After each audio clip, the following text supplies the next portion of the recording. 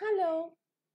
Recursive function to convert a decimal number to another number of any base. Now how to do the conversion? You have to divide the decimal number with the new base continuously and each time a new remainder is generated the, those are collected and the remainders are taken in reverse order. What is the meaning of reverse order? It means that the place value of the new uh, digits, new remainders are higher. Right.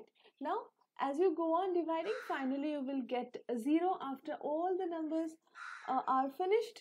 So, 23 divided by 2, then divided by 2, then divided by 2, finally it will lead to a 0. Right.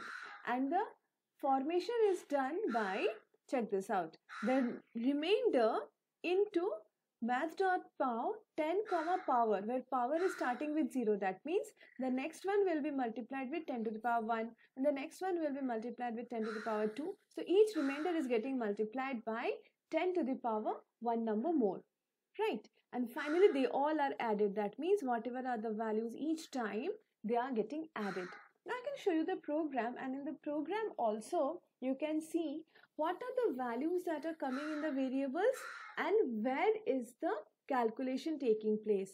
As the calculation is a sum of a series, whatever are getting added, they have to be supplied as the sum of the calculation. Okay. Now this one explains the example that has been taken as uh, 23 is the number and base is 2. What do you see? The number 23 is coming in the first time. Base stays the same throughout and power increases one by one. And the number also gets reduced one by one.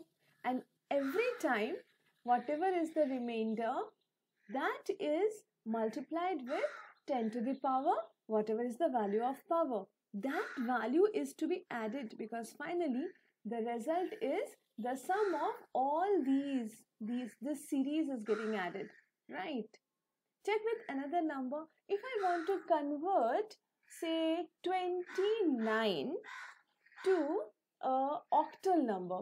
Can you tell me how will the series work? Let me show you how will the series work. Here, see the modified output. Calling method decimal to binary and the number is 29. This, these uh, numbers are getting printed from the method and the base is 8, the power is 0.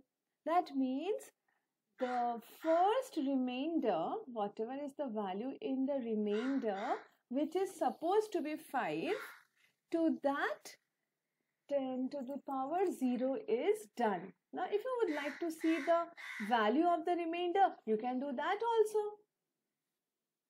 Here, for you, see the change in the output and I have made the value come to visible.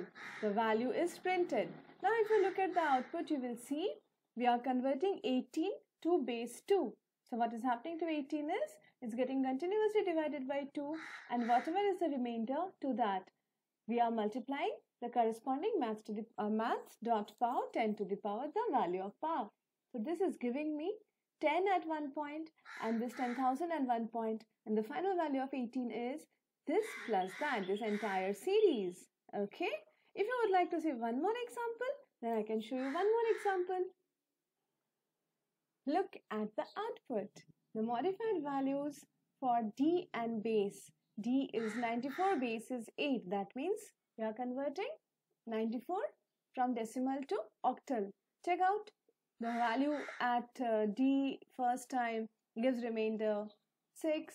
Next time we uh, convert remainder 3 to 30 and next time we remain, uh, convert remainder 1 to 100. Hence the result is 136. Okay.